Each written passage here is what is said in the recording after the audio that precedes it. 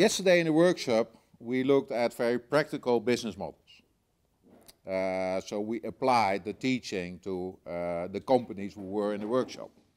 So we talked about uh, purpose economy, purpose-driven companies, economics of mutuality.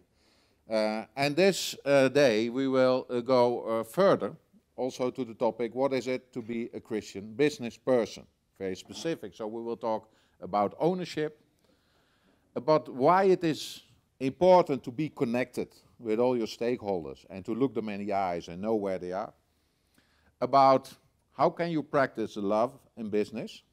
Is that doable or is the marketplace that competitive and that tough that you cannot practice these kind, what some people call soft values? How should we look at it? I think we close there.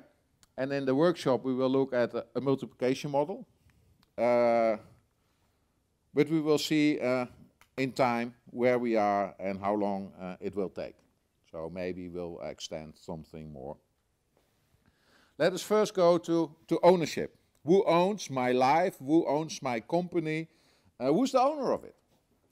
And many people say, yeah, sure, uh, I'm the owner, I'm the shareholder, I'm financially the owner, and uh, so I make the, primarily the decisions. But is that true? Is it true that I'm the owner of my own money and of my own company, and that God entrusted me uh, to this money, but that I see it as my own? Now, when we look at the scripture and we see the, the various verses about ownership, then I have here Psalm 24, verse 1 The earth is the Lord's, and all it contains, the world and all those who dwell in it. So Lord, the Lord makes a claim on this world, on every piece of this world, that it is His and not ours. The land must not be sold permanently, because the land is mine, God is saying. Also, the silver and the gold is mine, declares the Lord Almighty. And even your personal life, you are not your own. You were bought at a price, and therefore honor God with your body. So all these scriptures verses, version uh, declares and explain that it's not our life, it's not our company, it's not our finances, it's the Lord's. And Jesus is even going further. You have this parable of the rich man. And the rich man, I'm very jealous about this rich man because uh, this rich man is a very good man. He's asking Jesus about eternal life. And he's well known in the religious circles. He's successful in life. And when he's asking uh, the Lord or Jesus, from, what should I do to have eternal life? Then Lord said, oh, you should follow the law. You know what you should do. He said, I did it all. Imagine. You are successful. You have it all and you live completely, you follow the Lord and, and the laws from Israel. So we want to have these persons in our elderly boards and in our churches because these are the kind of people we like. They are rich, they have resources, they are successful, they understand life, and they are truly followers of God. And then this rich man said, but he felt something in himself that he lacked. So he was asking again. And then Jesus said, Sell everything you have and follow me. And this bar was too high. He couldn't do that.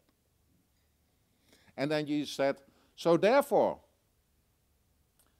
any one of you who does not renounce all that he has cannot be my disciple.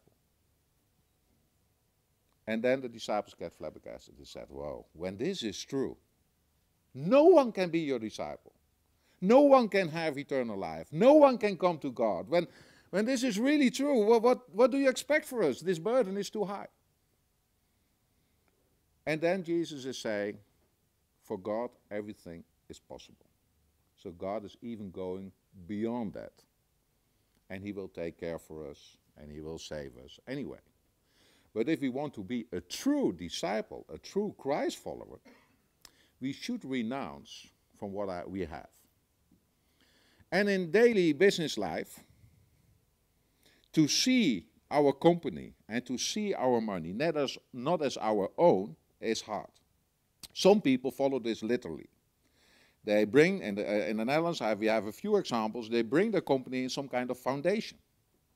So the renounce of ownership, bring the company in a foundation, bring all their money in a foundation, appoint a board within this foundation who makes the decisions about the profits who are, who are uh, were there in that year. What should we do with this profit? What does the company need to exist? Should we invest it?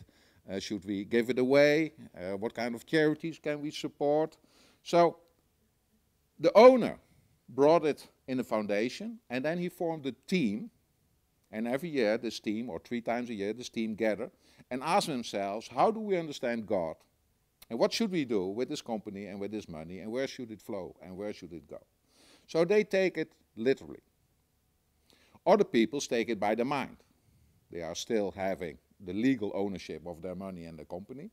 But they said, I, in everything I do, I would like to listen to God and see where He guides me and what He wants to do with His company and what is money. And yesterday I gave you this example of this uh, guy who invested in a Muslim nation and, and, started to move there. So, and then we immediately come also to, to Avi, his, his point, listening to God. These people try to listen to God first before they act. So sure, they use common sense and common economics and, and, and, know what to do. They are professional and skilled people. But before they act, they try to listen. Before they act, they try to, to, to get advice of uh, wise people and, and, people. So they, most of them, they don't work on their own. They are work within a team of advisors, of uh, spiritual advisors, godly advisors, professionals, that they can understand where God is leading the company. So listening first, I think that's the major skill of a Christian entrepreneur. So first submitting your company and letting your company to God. And the one who would like to do that, who are touched in this conference, said, I should do this. Join my workshop because in this afternoon we have make a declaration and you can put your company and your name in it and sign it and we will pray for you and you can really literally hand over in, a, in a moment your company and your money to God. And you can put it somewhere on the wall as a reminder in your board or on your desk that, that you did it. And that when you start to make decisions, you said, okay, I should take an account of what God asking me about this. As a Christian entrepreneur, we transfer the ownership in real or by mind to the rightful owner and we become stewards. This is the only point where we can distinguish from non-Christians. Values non-Christians can do, ethical business non-Christians can do, economics of mutuality non-Christians can do, uh, living for a purpose non-Christians can do, have a higher meaning in life non-Christians can do, but non-Christian can never transfer his company, his money, and his life to Christ. And make Christ real Lord of his life.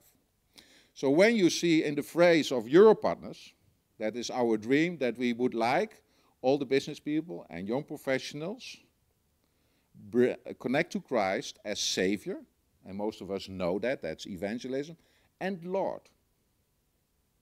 And that's something else. To make Jesus the Lord of your life is something else than Jesus seeing as your Savior. Jesus seeing as your Savior is, okay, we know you are saved. But the implication of this Savior, most Christians see only for the future. But making Jesus the Lord of your life, that implication starts today.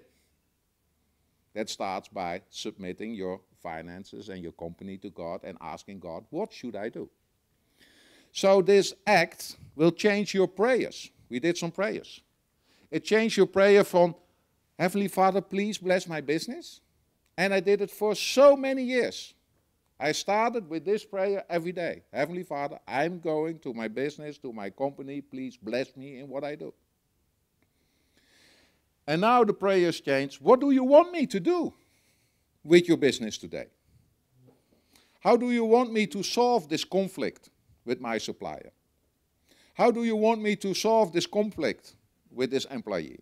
Should I fire him? Should I invest in him? Should I train him? Should I behave differently? Where are the loose ends of yesterday within my company and within my behavior within my company? What didn't I finish well? Where should I compliment people? Or should I ask for forgiveness? Or should I go back and, and finish what I started? You get to start to have a complete different mentality and a different mindset and a different life.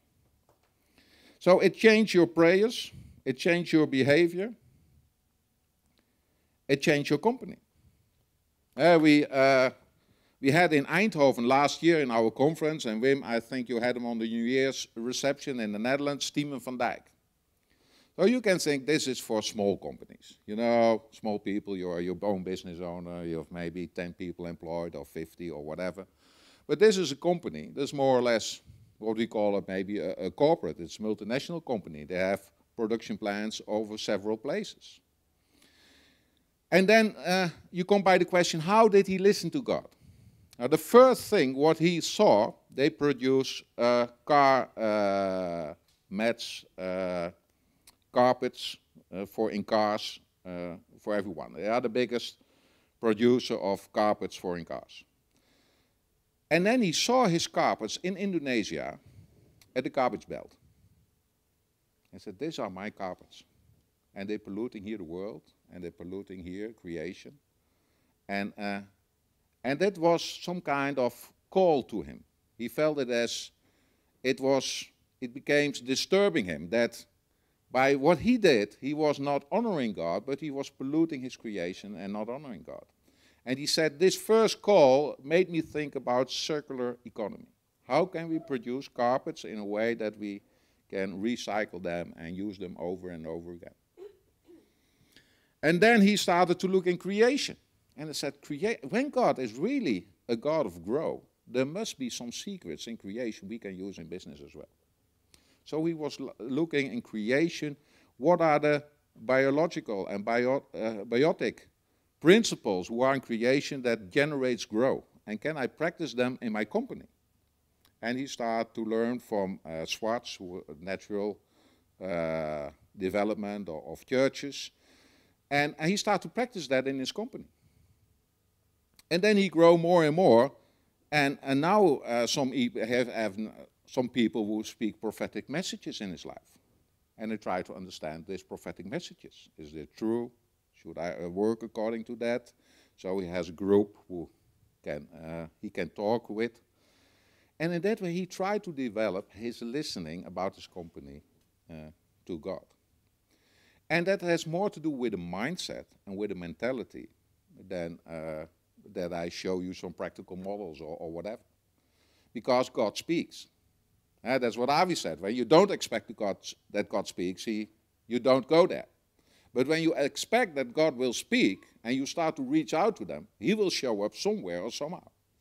And maybe in a difficult way, in a way you don't expect, in a confusing way, in a way that you said, that doesn't make sense let me investigate more or ask more, but never be afraid to ask God.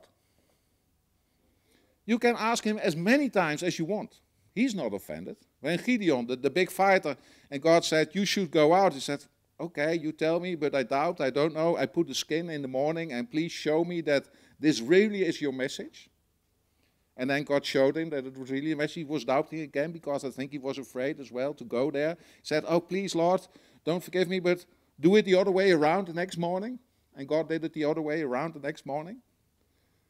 And then, yeah, after three times, you have to go somewhere at, a, at a moment in your life, you have to go. So he went. And I don't think he was very confident. He said, Oh, now God is with us, we will do the job. When I read the story, he was always searching, looking, being insecure. Is this the way? Should we do it? Imagine he creates an army and then God said, send everyone away. You are too big. Imagine you have a job to do and God tells you you are too big. Send everyone away. I want to do it with less because I want to get honor and not you. And then uh, he takes the one who, are, who I wouldn't choose and only 300 left. And, I, I, and sometimes it's very logical what you should do. And what Avi told when they conquered the Holy Land, It was a good plan. There were good tactical principles. Hide you in the bush, attack them from behind. Uh, but it is about asking and delivering. Well, what is business about? What is business really about? Is that about numbers? Is it about market share? Is it about profits? Is it about growing in employees? Is it about having many companies uh, somewhere? Where is business really about? And when we talk about where it is, I think it's making people flourish. Everything God does is to make people flourish. Business is only a tool to make people flourish. When you look at business, I think God is the biggest entrepreneur you can imagine. He started very entrepreneurial in the first sentence of the Bible. God created heaven and earth. He was making something. He was doing something. He had a vision, he had a dream, and he put that dream in practice by working. And his dream was people. It was not creating an earth. He took five days to create an environment for people where people can flourish. And only a moment, a, a split second, he made man and woman. But before he took five days to make people flourish. And I think our companies are there to fulfill a need, a need in society. There is a need in society where we think as smart entrepreneurs think we can we can deliver this need, we can fulfill this need, we, we can make a product that it will become easier or better or, or flourishing people or helping people. So everything you do is always about the customer. It's always about the client. It's always about someone. And I think everything we do is about making people flourish. A business is only a tool to an end. God used it also as a test to test us. What is our character? Who are we? What is our personality? And I think business is also a testimony. It tells the world something about who is Jesus. And the big question for me as a Christian entrepreneur is can people meet Jesus in my company? Can they meet Jesus in my behavior? Can they meet Jesus in the way I conduct my business? Can they meet Jesus in the way I approach other people? And also the question is, do I see Jesus, Jesus in other people? Do I see Jesus in my clients? Do I see Jesus in my customers? Do I see Jesus in my staff as Jesus in this parable in Matthew 25 said about the sheep and the goat, Did you see me when I was hungry, when I was 30, when I had no clothes, when I was imprisoned, when I was a foreigner? And did you care for me? So it's not that we reflect Jesus or that people can meet Jesus in us or meet Jesus in our behavior. It's also that we as Christian entrepreneurs see Jesus in other people. And that we start to come alongside and serve these people and feed these people and give these people to eat and clothe these people and by delivering them a job and creating jobs and creating economical wealth, people can do it by themselves.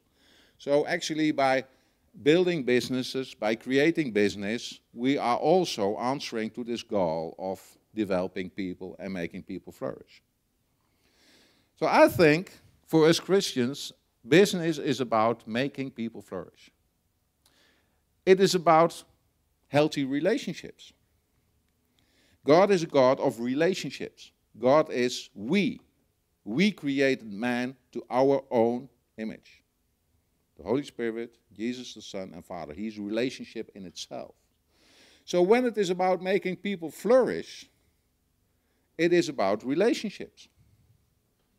Who are we serving? Too many entrepreneurs, uh, business leaders, uh, management teams are disconnected from their clients. They have a great idea and they start to talk about market share, they start about, about purchasing, they start about talk about making profit, uh, but they don't talk with the customer. They don't see the customer in the eye. And I think when you look someone in the eyes, everything changes.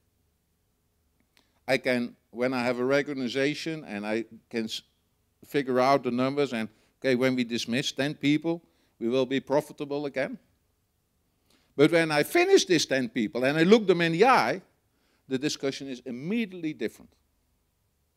So on paper, in the boardroom, it's easy. Okay, we have to finish 10 people. I call a human resource manager. I call my management team.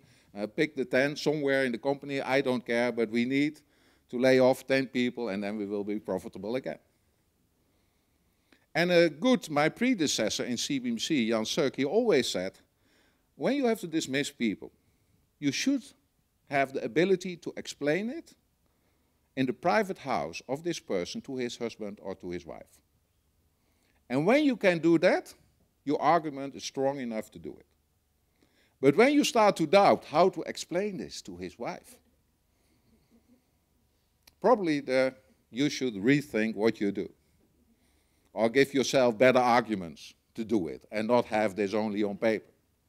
So when you say, okay, when they send me to this house, I, I keep them for another year. We can carry this burden and okay, then we make a little more, less profit and that's not so important, but I don't go there. So when that is your argument, you should rethink why you do it and what you do. So looking people in the eyes give you responsibility. It's the great philosopher Levinas who tells this. When you meet someone and you look someone in the eyes, he put something on you and make you responsible. That's in all the discussions we have in politics, in nations, or somewhere else, we should make them that small that when we look people in the eyes, we feel comfortable about what we think about them, feel about them, or do with them. When Jesus is talking about, but did you care about the foreigners? Do, do we see Jesus in the foreigners who overwhelming Europe? What do we do with these foreigners? What do we do with our staff? What do we do with our suppliers? What do we do with our customers? When we see them in the eyes and we know, but Jesus is in them. Jesus identified them himself with them and who they are. That gives you another way of responsibility.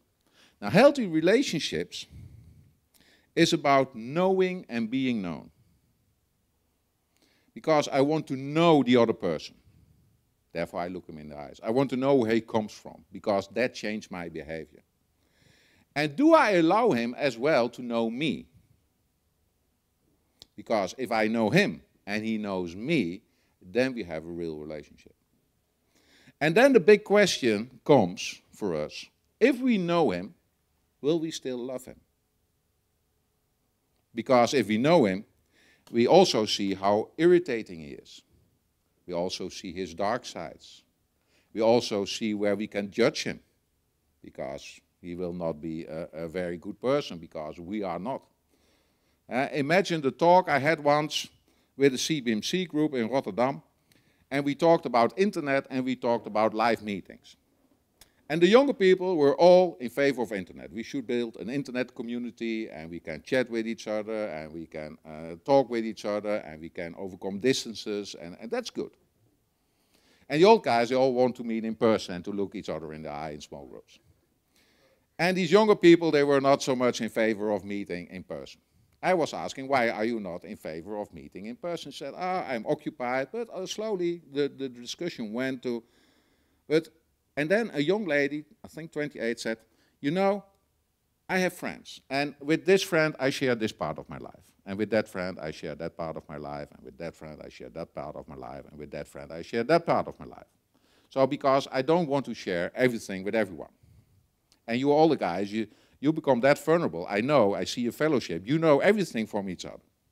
And that frightens me. And I recognize this. I also don't share everything with you here at the stage. I select also people where I share what I share with. But then there came the sentence that touched my heart. She said, if they would know everything about me, probably they will not love me anymore. Imagine. That is your mindset. If they know everything about me, they will not love me anymore. And we have God who knows everything about us. He knows where we cheat, where we betrayed, where our dark side is, where every, every shadow side of our heart he knows. And still, he loves us. And still he gives his life for us. And still he put everything on stake to win this relationship. If we would have that mentality in our business, how would it change the marketplace? How would it change the way we do business? How would it change the whole community? And we talked in this book about well-being. What is real well-being? What is a real paradise? What is real the life we long for? What is the paradise we are building? If we don't build it on relationships, if we don't build it on human behavior, on humans, I only have artificial wealth, a nice car, a good computer, the nice newest Apple, a good home, but it feels empty. Only loving relationships where you are known and able to know others, where you are loved unconditionally and able to love others unconditionally, there is the real purpose of life. There is where life comes to existence. There is where everything happens. Oh, thank you. The key is eye contact and proximity. And that brings me to there is a movie just launched. You should watch it. It's called Just Mercy. It's from a lawyer in the States, and he's dealing only with uh, prisoners who have a death penalty. And uh, this lawyer touched my heart so much that I changed my, many of my behaviors, and I start to get inspired by him. And also, I start now to work as a volunteer in prison. So I do Alpha in prison uh, every Friday, and I talk with prisoners, and I really enjoyed to be there. And, but what he recognized, he said, he was a young uh, boy from 18 years old. And uh, as a, he had an internship in a law firm, and he was sent to this person who had a death penalty, and he could give him the message that he was set free. But you know, you're 18 years old. For the first time, you see a real criminal. You go to a prison, and you think, whoa, who will I meet? So he felt very insecure. He didn't know what to expect. And he said, I'm going to give a message to the prisoner and the guards. Can you bring him in? And just an ordinary guy came in. Said, oh, I could relate to him. It, just, it, doesn't seem to be a criminal. And uh, he was that amazed that it was just an ordinary guy and, and not a big guy with tattoos and, where he was afraid of. And he started to ask them, where do you come from and what happened in your life? And, and they had a conversation for over three hours. And then the guards were fed up with this conversation, said we should close him in. And then they draw him more or less out of the room. And then when the door opens, this prisoner was shouting to, to, to this young lawyer. And he said, you know what I value the most? And he thought by himself that he is now not sentenced for a death, uh, uh, death sentence. He said that you talked with me. No one ever before talked with me for three hours. No one was interested in my life. And then he went away, this lawyer. And he was sitting in the car and he was crying. And he said to himself, I could be this guy. I come from the same neighborhood, I have the same upbringing, at the same circumstances. I only made another decision at a certain point. But I could have made his decision. I know where he comes from. I know what he feels. I know where he went through. And that made him looking in a different way to people. And that made give him the call to, to stand up for these people who have sentenced to a death penalty and to make a call to stand up for all the prisoners in the US. Because this prison regime in the US is not about restoring people or rehabilitating people or bring people back to life that they can have a better, become a better person. Now, when you leave prison in the US, you become worse than you were before. And the prisons are packed because they have a very uh, uh, a system where they, they easily punish people and, and, and don't ask about grace and, and other stuff. So the whole society in the States is changed because of this idea of punishment. He did something bad, we should punish him, and we should even punish him more, and the, the, the, uh, the penalties are too light, and we should be more tough on that. And then you see, see what kind of system you create. And we in the marketplace start to behave in the same way. We are very much just about the results. We don't care so much about people. We just want to use people, make profit, do what we like. So if we want to change the marketplace, we need to look people in the eyes and come close to them. Love in business. How can you do it? How to make it? How to make it practical? That is uh, just spend some a few minutes on that. First, that's a big question. Do you love yourself? Do you really care about yourself? Do you really love yourself? Not in a selfish way, but that you think, I am a person of value. I belong here. God loves me. I'm worth to be loved. I'm worth to be valued. Because if you don't, you cannot set borders people will start to use you and to abuse you and to misuse you. Because you think, oh, they probably are right. And probably I don't deserve this. Or I want to just to have his attention. Or I just want to have this friendly look of him. Or I just want to please him somewhere. That he maybe looks kind to me. You know, I come in, company, in nations and, and companies where they only bully their employees. You are wordless. You have no word. You don't belong here. It's only grace that you can work here. Uh, and imagine what that does with relationships, with people, how they view life, how they start to look in society, how they start to look to the future, what they start to practice at home. So everything about love starts by knowing that you are loved by God unconditionally no restriction,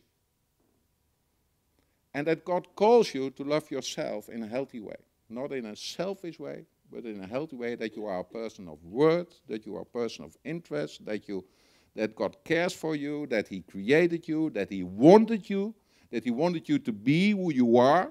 And sure, He wants to make you grow and more mature, but in essence, you are who you are, and He wanted you to be in that way, and that you understand that. Because when you don't have that, you cannot be a good leader. Because you will try to please people, you will go beyond borders, as I told you yesterday or the day before when I talked about recognition and seeking recognition, and it drives you in all kinds of directions. That's the first step. Then how to take care for your staff. So how do you look at your staff and your employees? Is it some people said, oh, this guy is not functioning well. I try to motivate him. I try to give him bonus or extra money. But you know, when you start to think about motivating people, you're already in the, in the wrong model. Because you try to make someone to do something he's not designed for or not equipped for. And you think when I motivate him or I give him more money, probably he will work harder or he will do more his best or he will uh, act better.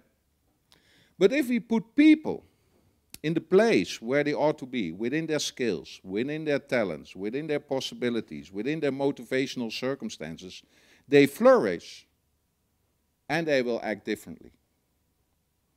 So it's more about bringing people within the right position, within the right circumstances, and, uh, and, and they will act according to that. But most time we behave in a different way. Uh, you, most times we are managers and said we want to treat everyone equal, if you are skilled or not. So, for example, in, in wildlife you have a frog, you have a bird, you have an elephant, uh, you have an ant, and you say to all, climb in this tree. You get all the same message. We have equality, and the one who can climb the best, he's the winner. And that doesn't make sense. Let an ant do what he's skilled for. Let an elephant do what he's skilled for. Let a bird do what he's skilled for. So bring people there that they can flourish in their position. Before you can do it, you need to read people. Relationship. You need to know people. You need to know where they are. You need to know what the talents are. You need to know what the competences are. And you need to know what they can do. And then becomes dismissing people or staff people when you start to guide them, to help them, to develop them, is a process of not, I would like to get rid of you, but it's a process, where can I put him somewhere else because somewhere is not functioning in it, where he can flourish better.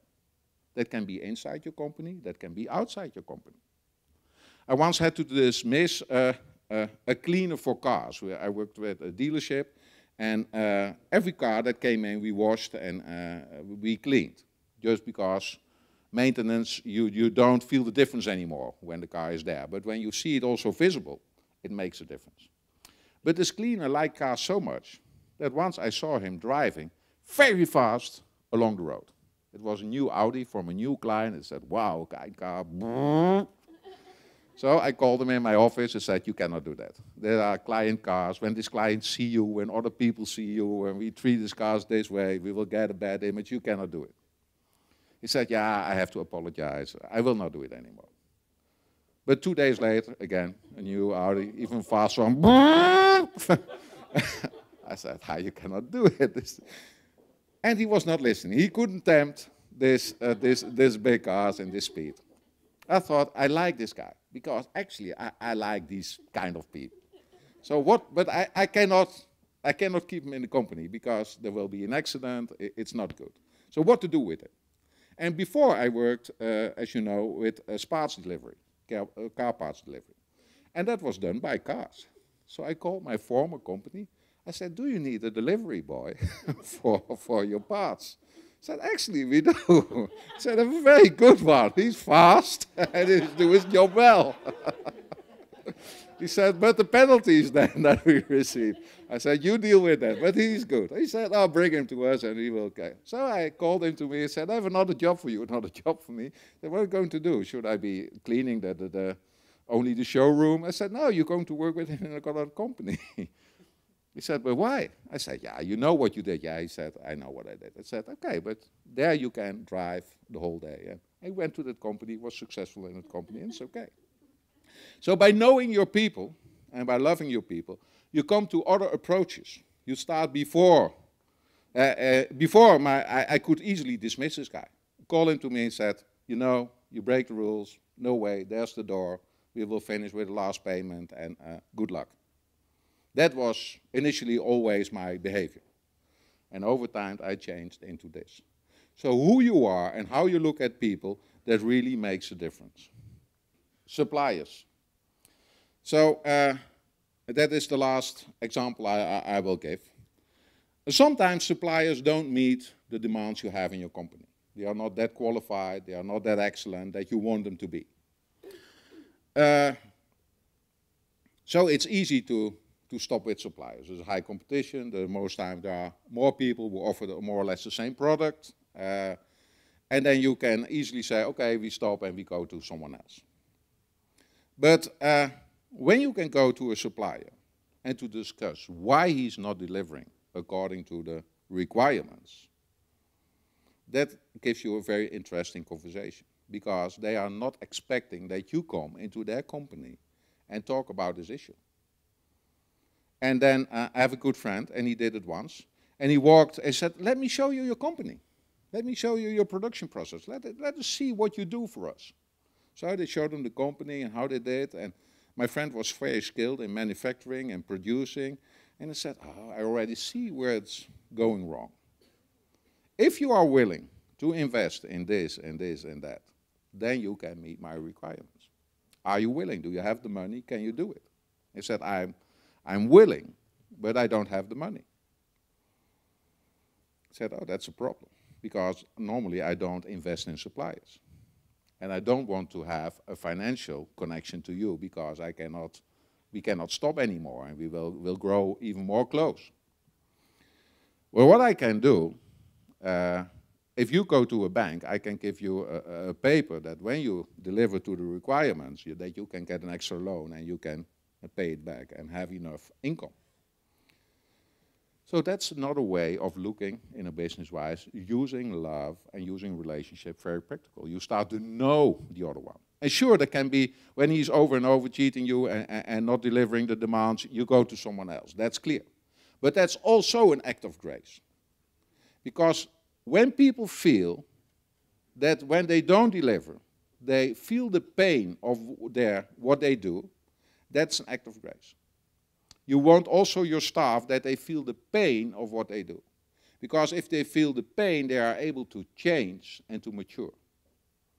And when you never let your children feel the pain or the consequences of what they do, they will never become mature human beings who are resilient and can cope with life.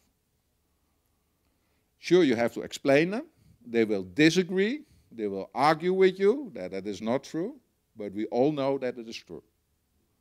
So even facing the consequences of your deeds and let that happen is an act of grace. And I think many times God allows our life to sometimes to become miserable and said, I told you you go this direction, you go that direction, you walk to this wall, it hurts you, I hope you learn something from it. He will not ever protect us for every failure or every wrongdoing, whatever. He wants to mature us. That we understand life and that we become, become mature and can deal with life and become resilient and can help others as well not to make the same mistakes. So even when you let people feel the consequences of what they do, I think it's very healthy. And often we don't do that in education, to our staffs, or in economy. Why was this big financial crisis in banking? All these bank managers didn't face the consequences of what they did.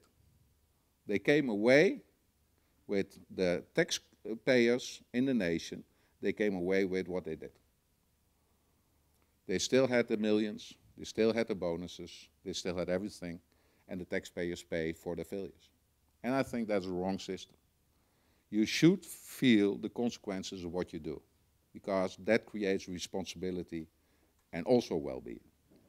And I think that's an act of love.